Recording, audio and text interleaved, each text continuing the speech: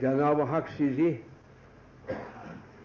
kıyamet gününde mahşer meydanında bekletmesin. Amin.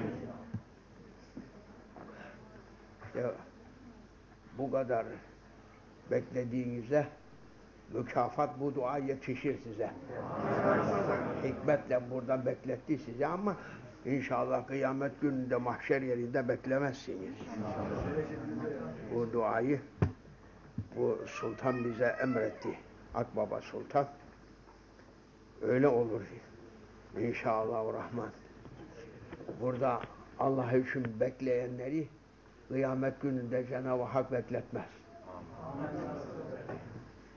Hikmetsiz bir hareket de yoktur dünyada. Evet. Kısa bir iki söz inşallah Akbaba Sultan'ın maideden onun sofrasından, manevi sofrasından bize ne gibi bir şey takdim ederse ona efendim razıyız. Ubeydullah Ahrari Hazretleri Allah sırrını takdis etsin. Euzubillahimineşşeytanirracim. Bismillahirrahmanirrahim. La ilahe illallah vahdehu la şerike leh ve neşhedü enne seyyidena Muhammeden abduhu ve habibuhu ve resuluhu sallallahu aleyhi ve sellem. İnşallah bu kelime-i tayyibe üzerine yaşar. Bu kelime-i tevhid ile dünyadan çıkar ve mahşer gününe onu söyleyerekten geliriz. Ubeydullah el-Ahrari Hazretleri bir müridine oğlum dağa git de geliyorum demiş.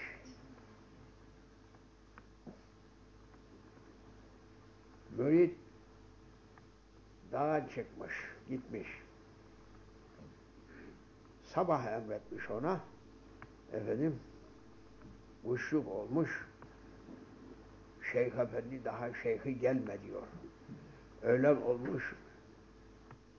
Hazreti Şeyh gelmemiş. İkindin olmuş. Daha Şeyh Efendi Hazretleri gelmemiş. Güneş dolunuyor. Efendim, o mürit bekliyor. Akşam namazı oldu. Yine Şeyh Efendi gelmedi. Efendim, kaş kararmış iyice ortalık. Yatsı vakti girmiş. Yatsı namazı da olmuş. Gene gelmemiş. O mürit orada bekleyip durmuş. Gece gece geçip şafak sökmüş.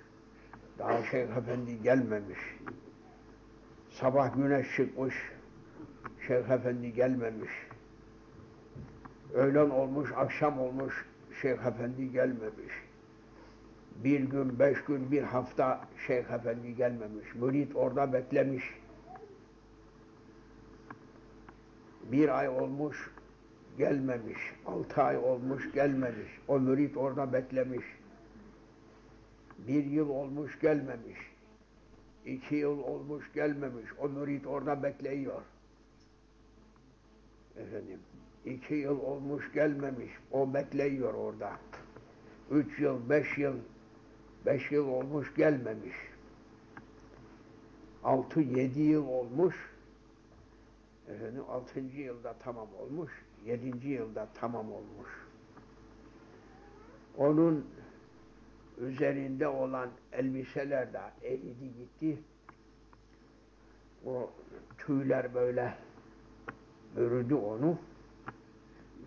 Efendim o dağlarda yazın ağaçlarda bir yemiş varsa onları yemiş. Ağaçlarda o tükendiği vakit yaprak yemiş, ot yemiş, ağaçların kabuklarını yemiş. Orada sabit durmuş. O dağdan enmemiş. O dağı beklemiş o. Orada. O namaz kılarken efendim kuşlar üzerine dururmuş. Gece Allah Allah ya Allah çekerken o dağdaki vahşi hayvanat onun etrafında halka oturup onlar onun zikrine dinler. Böyle baş eğip dururlarmış. Sabah şafak ağardığında onlar gider. O dağda olan, o vadilerde olan jin tayfası da onun etrafında halka oturup zikrine hazır olurlarmış. Bu halinde yedi, yedi yıl tamam olduğunda Ubeydullah Ahrari Hazretleri gelmiş. Yedi seneden sonra oraya hazır oldu diyor o. Ona bir baktı böyle. O dağdaki tüylü ayılar var. O gibi olmuş. Bütün vücudu kapanmış. Oğlum ne, ne için bekledin burada? Bu kadar vakittir. Emrin için bekledim ya seyyidi demiş. Peki ben geliyorum dedim. Ben gelmediğim vakitte sen ne için belki bir işim çıktı bir zaruret oldu ne için geri gelmedi? Ya Seyyidi, eğer ben sizin emrinizin üzerinde kendi irademi yürütüp kendi aklımın kestiğini yapacak olsaydım bugün siz buraya gelmek için peygamber emriyle buraya gelmezdiniz. Ben aklımı kullanmadım, reyimi kullanmadım, irademi kullanmadım. Emrinize tabi olup durdum. Yedi sene değil, yetmiş sene de burada dururdum ben. Sizin emriniz aşağı düşmeyecekti. Emrettiniz, burada dur dediniz, durdum. Bugün onun üzerine size emir oldu da o da keşfe erdi bir defa. O halinde olan kimse haberini aldı o da. Ki peygamberden emirle biliyor o. Kimin emriyle şeyh emrediyor.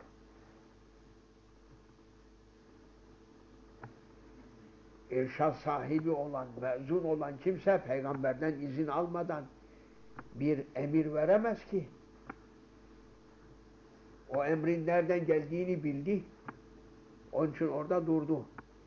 Ya o gece oluyor. Ne yapacağız bu dağ başında şimdi. Biz olsak ikindine doğru artık ne yapalım? Belki Şeyh Efendi unuttu. Belki bir işi çıktı. Şimdi gece vakti bu dağların başında ne yapalım? Evdeki insanların da haberleri yok. Çoluk çocuğa iş olmazsa haber verelim. Yarın sabah gene çıkarız daha. Ne kadar bize kalsa ne kadar hüküm verip de hemen enerdik. O peygamber emri olduğunu biliyor. Murşidin emri peygamber emridir. Ondan emir almadan o kendiliğinden söylemeyeceğini biliyor. Yedi sene orada onu bekletti. Yedinci senede Peygamber aleyhissalatü vesselam senin oradaki müride git dedi. Şimdi emanetleri teslim et. Ona emniyet olunur. Manevi hazinelerin anahtarlarını teslim et, hazinelerini de teslim et. Şimdi git. O senden ayrılmaz.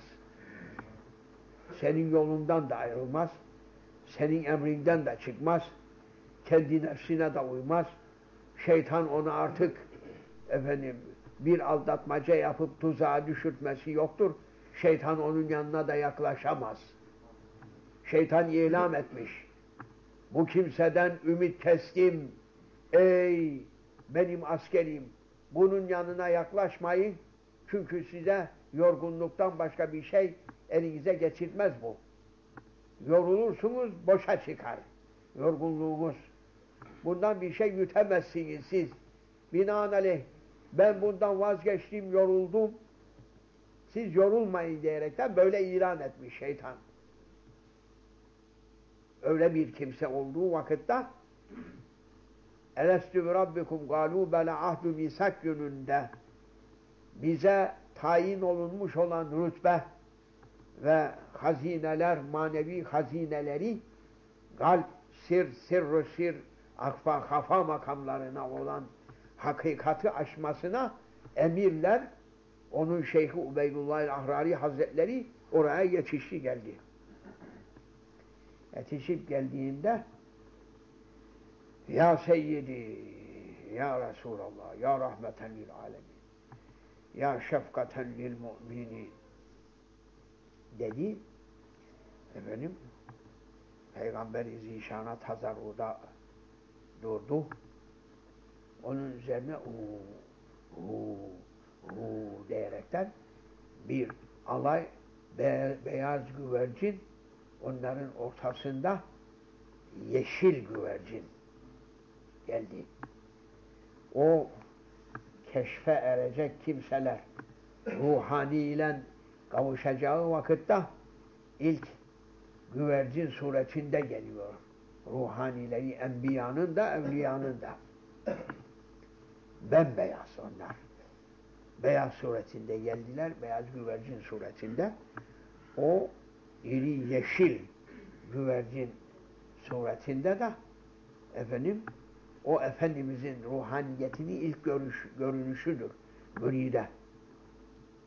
Bir defa Efendimiz zahir olurken ötekilerinden de bütün evliyaların, Sadat-ı Nakşibendi onların 7007'dir onlar. Bir noksan, bir fazla olmaz. İlâ yevmül kıyamete kadar. 7007 adet üzerine olan o zatların hepsi de onların ruhanileri zahir oldu. Peygamber-i Zişan hitap etti. Hemen o ruhaniyetle ruhani hakikatiyle göründüğünde gerek Şeyh Hazretleri gerek mürid o da cismani surette duramaz, terkül edeptir. Hemen ruhaniyet üzerine dönüp ruhani heyetinde durdular onlar da. Peygamberin ruhani meclisinde. Efendimiz o zaman hitap etti şeyh, o müridin şeyhine Ubeydullah Ahrari Hazretlerine. Bizim şehadetimizle bu kula emanetlerini teslim et diye. Manevi olan rütbeyi giydir, yeryüzünde halife kılacağım diye buyurdu Cenab-ı Allah.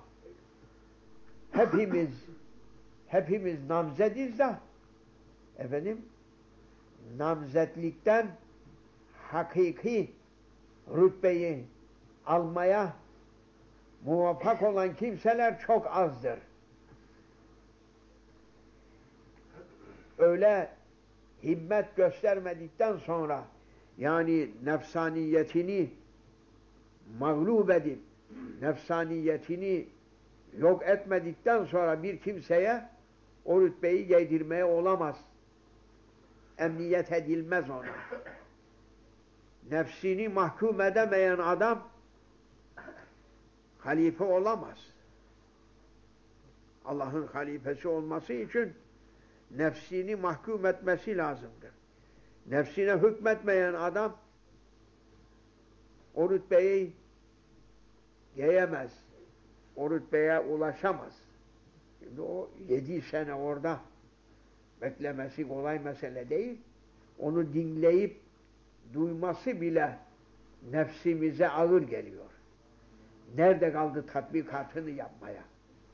Onun. Şimdi de buna emniyet edilir. Bunu şeytan aldatamaz. Altın aldatamaz. Kadın aldatamaz. Dünya aldatamaz. Bu rical makamındadır. Ricalun diye Cenab-ı Hak kelamı kadiminde onlar yüce er kimselerdir. Cenab-ı Hakk'ın zikrinden gafil olmayan Cenab-ı Hak ile olan kimselerdir onlar.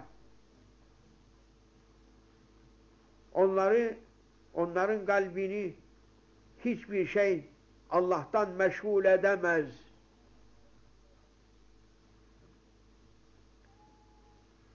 Onların gözünü efendim hiçbir şey doldurmaz. Efendim ayı gördüm yıldıza tamam yoktur derler. Onlar isteyeceklerini bilmişler.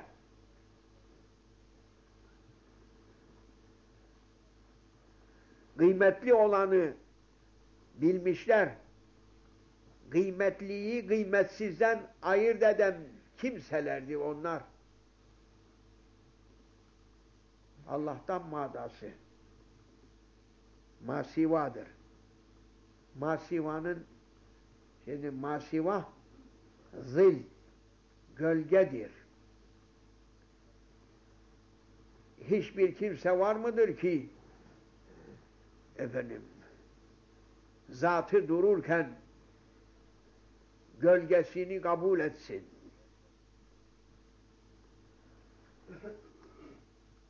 Hakikati dururken suretini kabul edecek kimse var mıdır? Hakikati ister. Onlar hakikati bilmiş olan kimselerdir. Hakikatin arkasına düşmüşler. Onu elde ettikten sonra şeytanın onları aldatacak şeyi yok. Salahiyeti yoktur. Bitmiştir. Onun için defterinden siler. Bu bizden gitti. Gayret etmek lazımdır ki bizim adımızı da silsin o defterinden. Daha defterinde ismimiz var. Yazılı. Ümidi var. Belki ha gayret edin der her gün. Arkasından düşün bakalım. Belki bugün aldatırsınız. İsmi yazılı çünkü defterde. Ha bakalım. Arkasına düş. Şeytan senden ümidini kessin. Şeytan senden ümidini kestiği vakitte Cenab-ı Hak o zaman kulumdur der.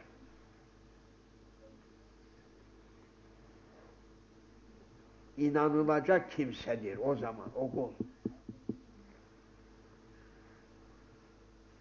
Aleyhissalatu vesselama Cenab-ı Hak Celle ve Ala ashabına onları imtihan etmeden güvenme diye emir vermiştir.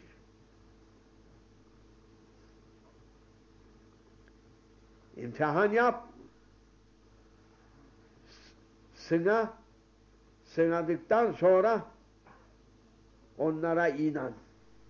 Ve bir harp esnasında 40 sahabe susuzluktan şehit olduktan sonra izin verildi Efendimiz Aleyhisselatü Vesselam'a bu mübarek ellerinden su akıtsın diye mucizesini izhar etmeye koca ordugahın içerisinde efendim yalnız bir kimsenin ufak bir kırbacık içerisinde iki üç damla su olduğu bulundu. Onu emreyledi. Onu getirip de bu mübarek yedi saadetin üzerine o birkaç damlayı döktürdü. Döküldüğü anında bu beş parmağından lüle gibi su, zülal gibi su akmaya başladı. 40 sahabe şehit olduktan sonra şimdi senden bu ashablar ayrılıp gitmez. Şimdi geriye kalanlara mucizeyi göster, su varılsınlar. Onun için Cenab-ı Hak bizi sınar. Cenab-ı Hakk'ın imtihanı ve sınaması vardır. Ondan sonra Resulullah'ın da ümmetlerini imtihanı vardır. Efendim, bizi manevi terbiyesine alan Evliyaullah'ın ve şayih izamın da bizi sınaması vardır. Ona göre sana daha ilerisine yol verirler. Eğer efendim o sınamayı geçemezsen yine tekrar ederler. Yine tekrar ederler. İtimada şayan ise inanılacak kimse ise o zaman emanetlerini teslim alır. Emanet nedir? Hakkul hayatı almaktır. Hakiki hayat bu hayattayken hakiki hayata hayatun ebedi hakikatul hayat hakikatun ebediye bu dünyada vasıl olmak ki mutu gable en temutu ölmeden önce ölen bu dünyada hakiki hayatı almıştır. O rütbeyi bulmuştur. O kimse kabrinde çürümez. Olduğu gibi mahşere kalkar. O mahşere onlar öyle senin benim gibi kalkacak değil. Onlar serapa nurun içinde kalkar. Çünkü dünyada o hakiki hayatı bulmuş kişidir. Güneş gibi parlayıp kalkar onlar. O toprak olduktan sonra efendim kıyamet günü için yeni vücut halk edip Cenab-ı Allah gönderecek mahşer yerine o çürüdükten sonra tekrar dirilenlerin vücutlarında o e, saltanat yoktur. O bu dünyadayken hakiki hayata ulaşanlar saltanatlı kalkacaktır. Ya ahiret sultanı oldukları belli belli olacak. Tabi güneş gibi gelecek onlar. Biz karınca kaderince kabilinden efendim bu zamanda yaşayan müminlere bu menba üzere sohbete mezun bulunuyoruz da ara sıra bir sınamaları da oluyor. Efendim.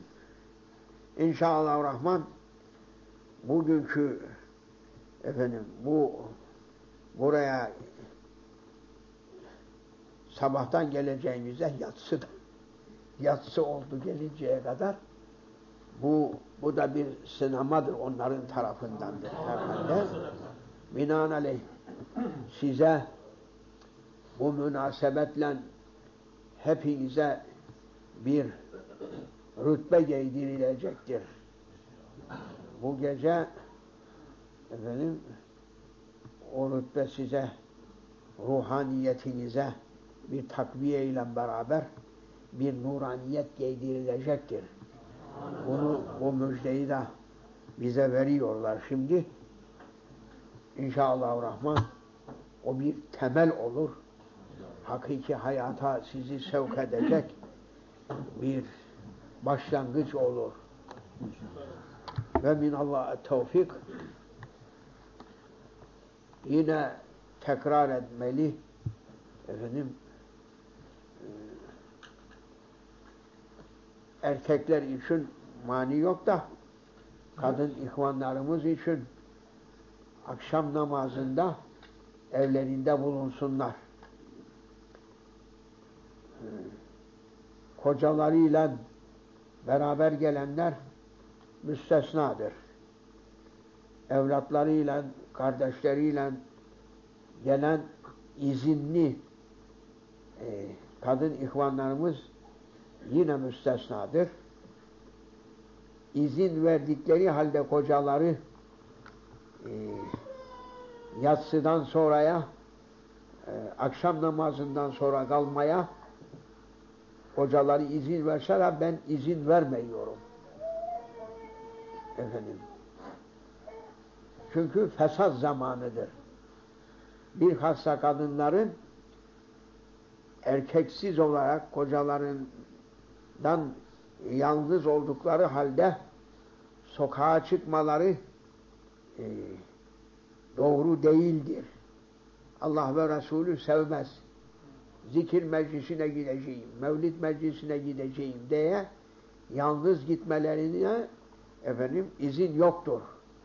Şeriatın da izni yok, tarikatın da izni yoktur. Binaenaleyh akşam namazında kendi hanelerinde bulunsunlar. Gündüz izinle gelsinler. Ne kadar izin verildiyse o izni de aşırmasınlar. Buna dikkat etsinler. Ee, çünkü benim üzerime bir mesuliyet yükleniyor onlar hakkında. Ben rahat olmuyorum. Ona da dikkat etsinler. Allah bizi sırat-ı müstakim üzerine bulundursun. Hidayetiyle şereflendirsin. Ulum dediklerinden ulum diyerekten izzet hitabıyla şereflenenlerden kılsın sizi. Cenab-ı Allah. Bütün hayatımızın muhassanası bu olacak. Ne istersen yap. Ne istersen kazan. Lakin o hitaba eremedikten sonra işin boş. Ulum derse sana Cenab-ı Allah Vezid Behsami Hazretleri gelen melaikeyi sıkıştırdı. Soru melaikesini. Soru melaikesi gelip Bayezid Bestami Hazretlerine Rabbin kimdir demiş. Soruyorlar. Diyor. Bunu bunu ne için soruyorsunuz? Bunu bilmeden mi soruyorsunuz? Mühim değil demiş o. Ben ikrar edeyim veya etmeyeyim. Rabbim Allah'tır ama mühim olan ona sorun. Bana kulum değiyor mu? Rabbim Allah. Lakin beni kulluğa kabul etti mi? Kulum değiyor mu bana? Mühim olan budur. Rabbim Allah. Lakin beni kabul etti mi kulluğuna? Kulum değiyor mu sana? İşte o. Dünya kavgası bitmez. O kavgadan ayrıl, bırak o kavgayı. Sen evet. o noktaya bak. Hedefi onu al. Hedefin o olsun. Bugün acaba ölsem, bu gece teslimi ruh etsem, Cenab-ı Hak kulum diyerekten beni kabul edecek mi? Her gün muhasebeni yap. Allah'a böyle bugün bugünkü hareketimle herhalde Cenab-ı Mevla bana kulum der diyebiliyorsan ne mutlu canına ne mutlu şöyle olana diyor. Havacı var. O ne mutlu böyle olana. Yok. Ne mutlu bana, bana Allah Celle ve Ala kulum dediği vakitinde ne mutlu senin canına. Benim de canıma. İşte buna dikkat edin. Kimseyle kavga etme. Nefsinle kavga et. Ey nefsim, nasılsın? Dedirtebilecek misin yarın? Bu dünyadan çıkarken Cenab-ı Hak emaneti teslim almaya ölüm meleğini gönderdiği vakit git filan kulumun ruhunu kabzeyle. Kulum dedirtiyor musun kendine? Ne mutlu canına. Türk'üm, Arap'ım, İngiliz'im, mutluyum deme.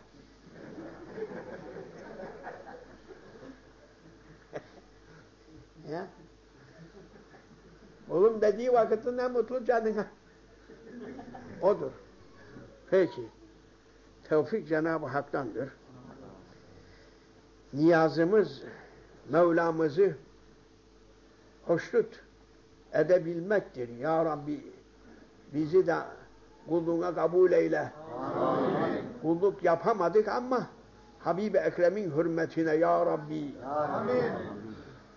onun hürmeti için bizi kulluğuna kabul eyle deyin. Bi hürmetil Habib, bi hürmetil Fatiha. Allah